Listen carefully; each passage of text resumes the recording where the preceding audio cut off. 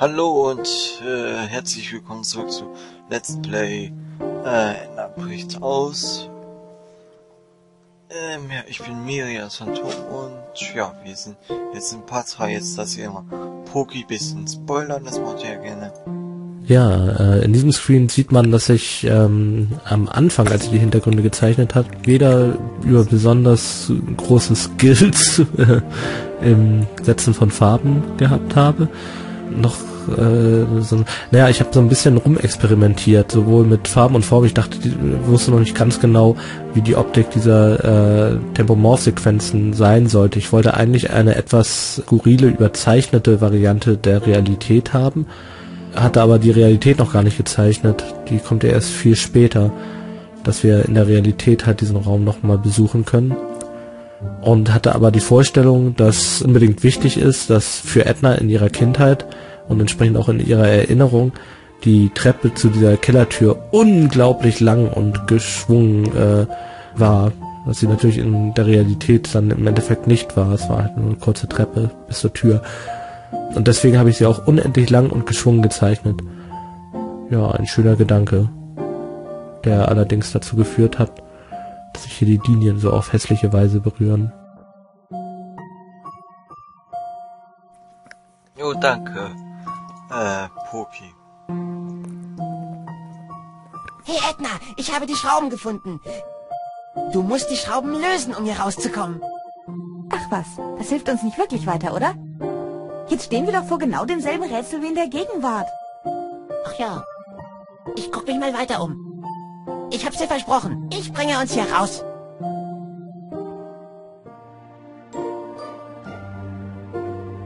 Hey, Edna. Kannst du vielleicht das Fenster für mich aufmachen? Da komme ich selbst nicht ran, Harvey. Meinst du, sonst säße ich noch hier unten?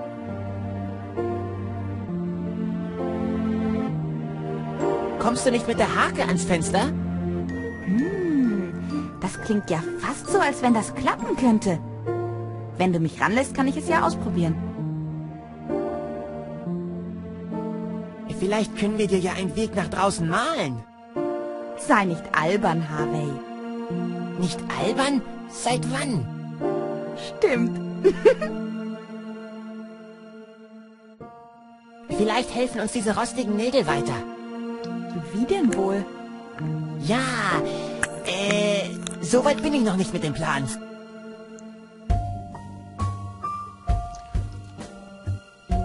Sieh mal, was in diesem Karton ist. Was denn? Nichts. Reingefallen. Ach, Harvey. Vielleicht können wir diese Tücher verwenden. Wozu? Einen Saunaclub gründen? Vielleicht zerbröselt die Tür ja, wenn wir die Marmelade aus ihrem Glas befreien.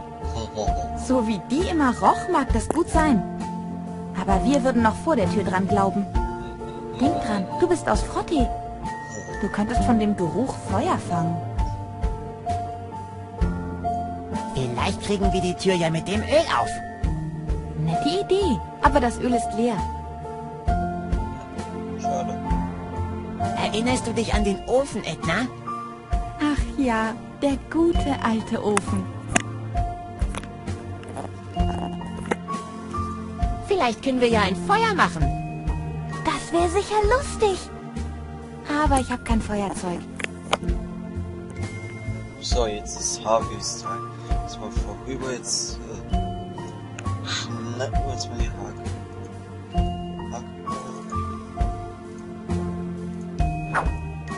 So.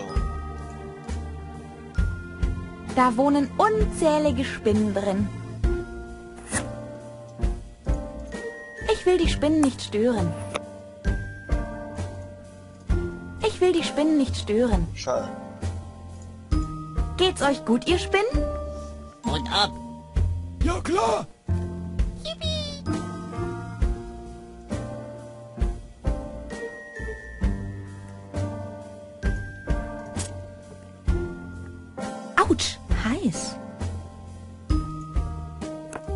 Er würde ja doch nicht antworten. Oh, wer weiß. Autsch! Heiß! Der gute alte Ofen.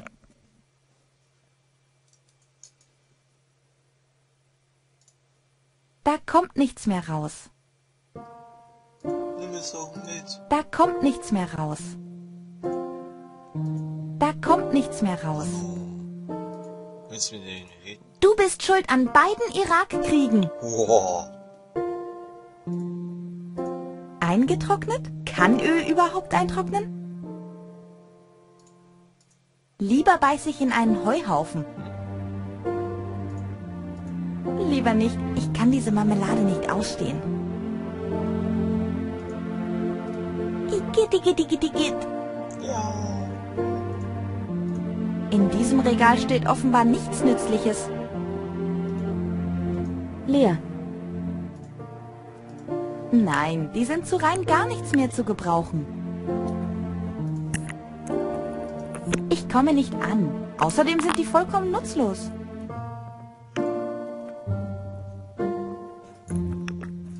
Die sind zu rein gar nichts mehr zu gebrauchen.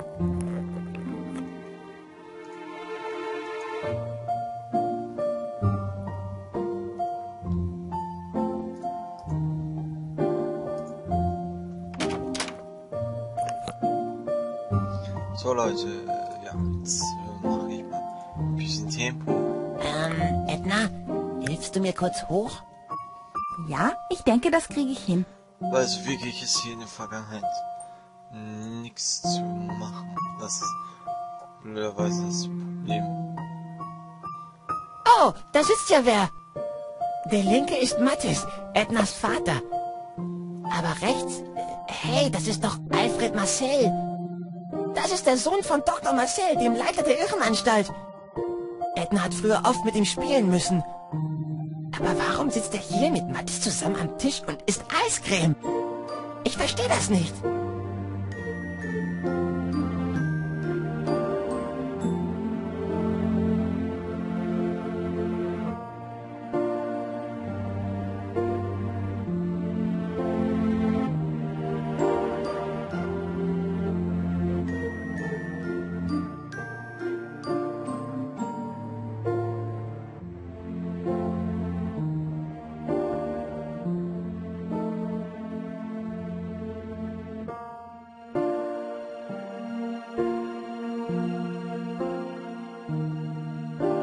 Ähm, hier bin ich wohl sehr, sehr schnell gewesen, was das Schreiben der Story anbetrifft, sonst wäre mir sicherlich irgendwie was Besseres eingefallen, außer Alfred und Mattis essen zusammen Eis. Uh! Irgendwie äh, hat mich das immer so ein bisschen an dem Spiel gestört, dass halt irgendwie der erste große Störer im Spiel halt noch so total harmlos ist. Da hätte man eigentlich schon einen richtigen Störer draus machen können. Dass die irgendwas Fieses tun, wirklich Edna gegenüber, außer Eis essen. Oh, sie essen Eis ohne Edna. Edna darf nicht mit Eis essen. Das stört. Fließt denn hier gar kein Blut in dem Spiel? Oh. In gewisser Weise ist das als Plan schon gestört. Bei der Zeitung kann man zum Beispiel nicht mit Mat, äh, mit Poki reden. Ja, das ist doch schon viel näher an dem, was ich eigentlich wollte. Und zwar die Kindheit als naiv, überzeichnet fröhliches Paradies sozusagen, auch wenn Edna im Keller eingesperrt ist, hat sie doch eine Erinnerung an eine goldene Kindheit, die allerdings ohne sie stattgefunden hat, unfairerweise. Und jetzt steuern wir Harvey da durch und äh, können uns die Nachbarn angucken und alles ist normal und gut bürgerlich und ja, viel Spaß beim Erkunden.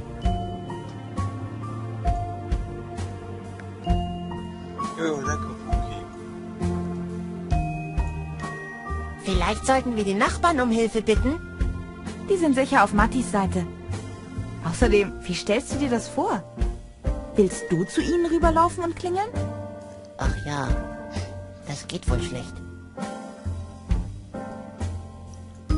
Erinnerst du dich an die Regentonne neben der Hintertür? Nur vage. Wieso? Ich weiß auch nicht. Einfach mal alles abklappen. Vom Hintergarten führt eine Tür zurück ins Haus. Hast du eine Idee, wie ich da reinkomme? Ich glaube nicht, dass du das kannst. Wie willst du eine Tür öffnen? Stimmt. Ich guck mich lieber weiter um. Du rätst nie, was auf der Veranda vor sich geht. Schieß los. Mattis, dein Vater, dein eigen Fleisch und Blut, hockt zusammen mit Alfred Marcel, dem Sohn von Dr. Marcel. Und es kommt sogar noch dicker. Beide haben es sich bei einem riesigen Eisbecher bequem gemacht. Das kann ich nicht glauben. Mein Vater bevorzugt diesen Knallfrosch? Da ist doch was oberfaul. So, jetzt kommt noch ein kleines Video. Du rätst nie, was auf der Veranda vor sich geht. Schieß los. Matt hockt und es... Da, mein Vater, da ist doch was... Das ist nur ein Review. Jetzt kommen wir zu dem eigentlichen Teil, der hier in diesem Bereich wichtig ist. Edna, Edna, Edna! Du glaubst ja nicht, was in der Zeitung steht. Man darf endlich Isel auf Oggen reimen? Äh, ja. Yippie! Dann kann ich endlich mein Gedicht über Liesel und ihre Doggen beenden. Rat mal was. Der Kastaniendieb ist wieder ausgebrochen. Oh nein, schon wieder? Das letzte Mal waren es drei Bäume, allein in unserer Straße. Die Polizei geht davon aus, dass er mit Hilfe eines abgebissenen Fußnagels entkam. Im Ernst? Hm, ein abgebissener Fußnagel sollte ja nicht so schwer zu beschaffen sein. Und jetzt?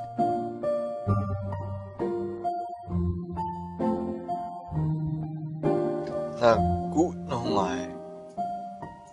Ich habe gelesen, dass ein Linkshänder mit einer Rechtshänderschere ermordet wurde. Das ist aber ausgesprochen seltsam. Da wollte irgendjemand ein Statement abgeben, wie mir scheint.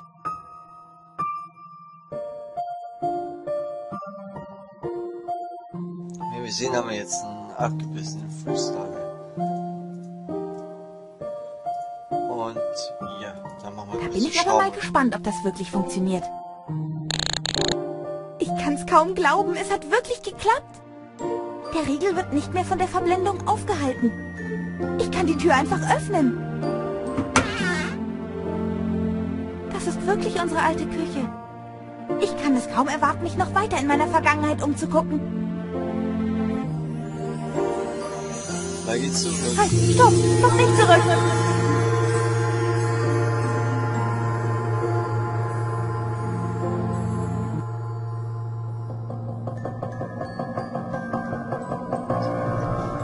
Nein!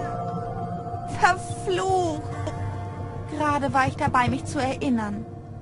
Es tut mir leid, an mehr konnte ich mich leider nicht erinnern.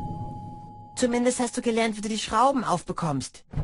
Stimmt, danke, Harvey. Was würde ich bloß ohne dich machen?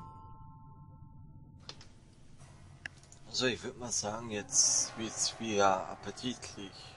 Also wenn ihr jetzt am besten seid am Trinken seid, ist es eine sehr schlechte Idee.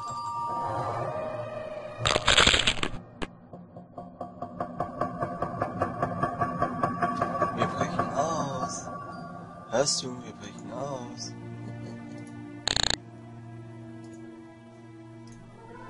Das macht zwar Spaß, aber einer zur Zeit reicht.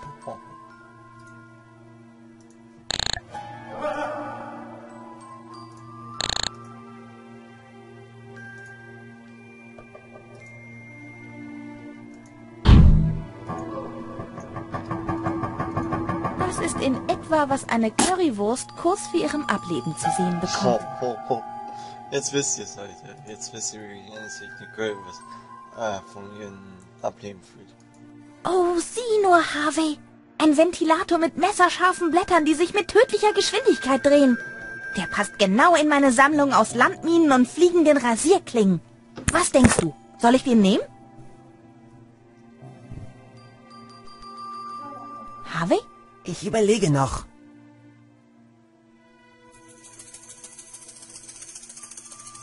Oh Herr der Rotation, wirst du mich passieren lassen? Ein Stück. Unwahrscheinlich. Das sehen wir noch. Ich frage mich, was passiert, wenn ich meine Hände da reinstecke. Edna, nicht! Edna, Du könntest den Ventilator kaputt machen.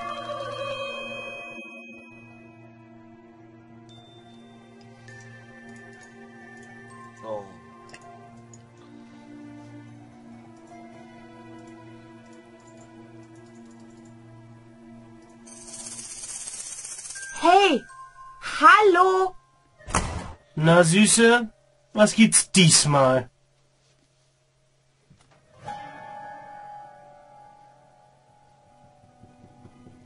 Ich würde gern noch mehr über Minigolf wissen. Wer will das nicht? Habe ich dir schon erzählt, dass ich in der Profiliga spiele? Oh. Yep.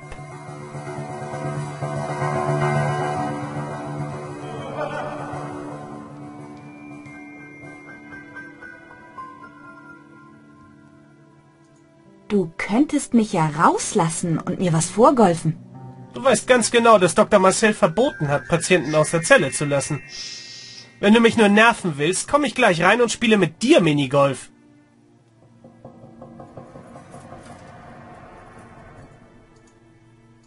Erzähl mir mehr über deinen Vater. Ah, mein Vater. Gotthold Franz von Stiesel Senior. Jep, jep, jep. Ein großer Mann. Papas Liebling, hm? Mein Vater war ein großer Mann. Und ein großer Minigolfer, da bin ich sicher. Jep. Warum nimmst du nicht Papis Schläger und schlägst ihn dir über den Kopf? So etwas Gemeines. Mein armer Vater. Na warte. Mal gucken, ob du immer noch lachst. Wenn ich dir die Klimaanlage wieder ausstelle. Oh nein, die Klimaanlage ist aus. Gut. ähm, Ja, das ist jetzt die Lösung. Wir müssen provozieren, damit er uns die Klimaanlage ausmacht. So, jetzt gucken wir das. Vielleicht kann ich den Ventilator hiermit aus der Fassung hebeln. Und... Ja, ja. Das macht dann plopp. Gehen wir mal rein. So. Jetzt lassen wir einmal noch Puki spoilern und dann verabschiede ich mich. Ich werde sehr oft auf diese Animation von Edna angesprochen. Mir wurde gesagt, dass sie anzüglich wirkt. Ähm, und ich weiß ehrlich gesagt nicht, wo das herkommt. Ich bin ein bisschen ähm, geschockt.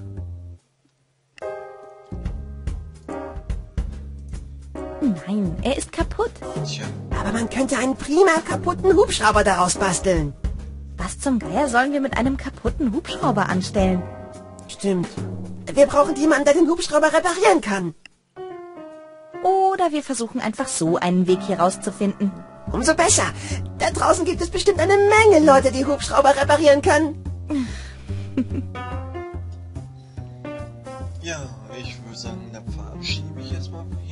von euch und ja, sieht man sich im Part 4 wieder und ja, man sieht hier, sie hat uns Teleport an.